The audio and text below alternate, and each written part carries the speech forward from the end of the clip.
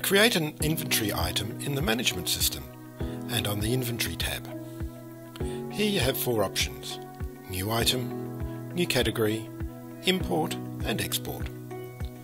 To the right is the edit mode that will open other functions like category functions, delete and undo. Click on new item to add an item.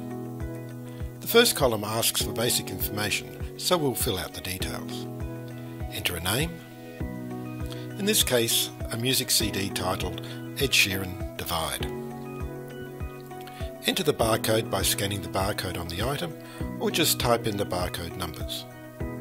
Enter a supplier name if you wish, we'll leave it blank. Enter the stock on hand number. In the section below you can enter price information for this item like the price from the supplier. A markup you'll apply to the supplier price the tax is already set to the standard Australian GST rate of 10%. To vary it, click on the padlock and enter a new value. To reset it, just click the padlock again.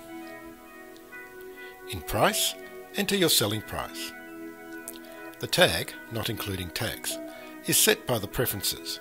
You can change it to show including tax.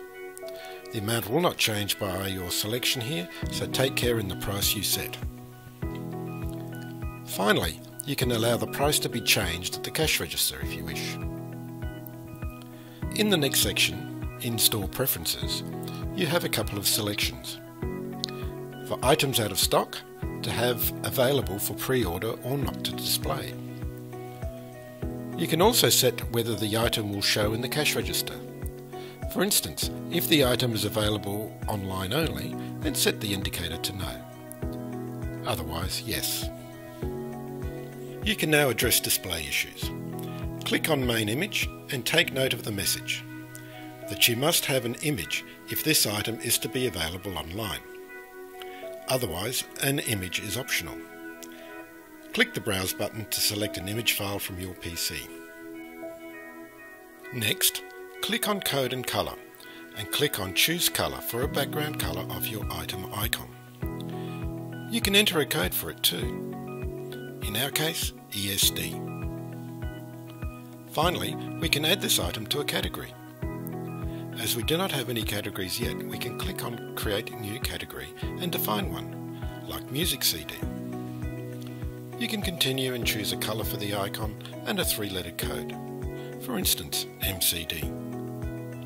You must attach an image if this item is to be used online. When your selections are done, click on Save. Now in the Categories section, we can apply our new item to it. If your next item entry will be similar, you can click on Duplicate Item and then make the necessary changes. Now back on the opening screen of inventories, we can see our two new items and the category we created. Thanks for watching this video, and if you have any questions, please go to reckon.com forward slash support.